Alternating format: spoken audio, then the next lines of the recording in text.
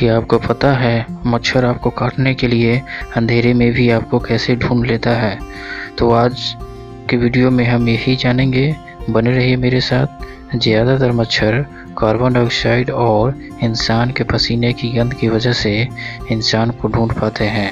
हम मनुष्य और अन्य जानवर स्वाभाविक रूप से सांस लेने के बाद कार्बन डाइऑक्साइड बाहर निकालते हैं। मच्छर 10 से 50 मीटर की दूरी से ही मानव श्वास यानी कि CO2 कार्बन डाइऑक्साइड का पता लगा लेता है।